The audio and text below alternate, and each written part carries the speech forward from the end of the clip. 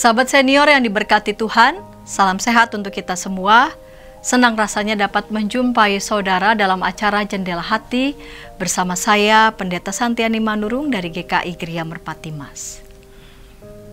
Renungan kita hari ini, Rabu 18 Oktober 2023 ditulis oleh Pendeta Dahlia Vera Arwan dengan judul Bertolong-tolongan yang dilandaskan pada surat Galatia 6 ayat 2.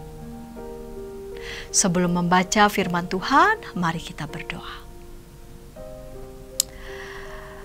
Bapa yang mengasihi kami, kami anak-anakmu siap untuk mendengarkan firman-Mu. Tuntun dan berkatilah kami ya Bapa. Dalam Kristus kami berdoa. Amin. Sahabat senior, saya akan bacakan untuk kita Galatia 6 ayat 2, dengarkanlah firman Tuhan. Bertolong-tolonganlah menanggung bebanmu, demikianlah kamu memenuhi hukum Kristus. Sahabat senior, Nandia Mei Soliha hanya memiliki separuh lengan kanan, tetapi Nandia dan orang tuanya tidak berputus asa.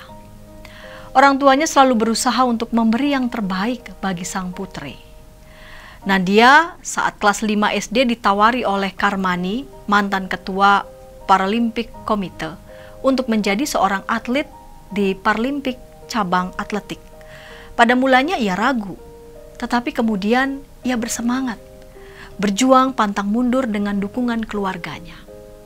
Ia pun berhasil mendapat tiga medali emas di ASEAN Para Games 2015 dan 2017. Sahabat senior, sesungguhnya tidak ada seorang pun yang dapat melewati hidup ini dengan segala peristiwanya tanpa kehadiran orang lain. Dengan kata lain, kita selalu membutuhkan sesama.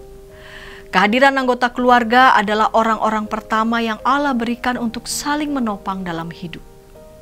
Tindakan bertolong-tolongan dapat dilakukan pada saat kita bersedia menolong dan bersedia juga untuk ditolong. Menolong dan ditolong adalah sikap kerendahan hati untuk saling menopang dalam perjuangan hidup. Menolong adalah kesediaan untuk mengenal lebih baik kebutuhan sesama untuk bangkit. Ditolong adalah kesediaan kita membagi kerapuhan hidup untuk dapat tegar dan kuat terus melangkah. Mari kita berdoa. Kami bersyukur kepadamu ya Tuhan. Engkau dalam kasih-Mu menghadirkan kepada kami keluarga, orang-orang teman-teman di sekitar kami, tanda kebaikan Tuhan dalam hidup kami. Biarlah kami boleh menunjukkan saling mengasihi, saling bertolong-tolongan satu dengan yang lain. Karena hanya dengan demikian kami merasa sungguh kami tidak sendirian dalam hidup ini.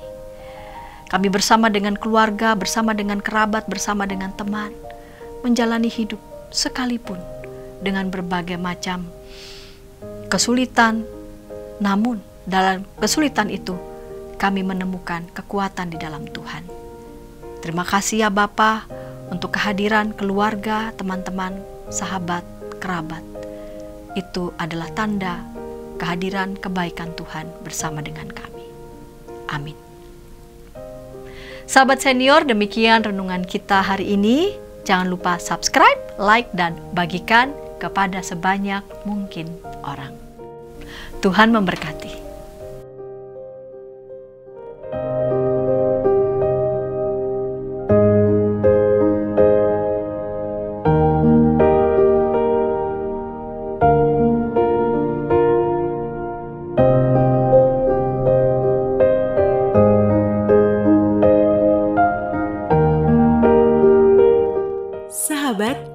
Dukung pelayanan dan pekabaran Injil melalui YKB dengan membagikan link acara ini kepada sebanyak mungkin orang.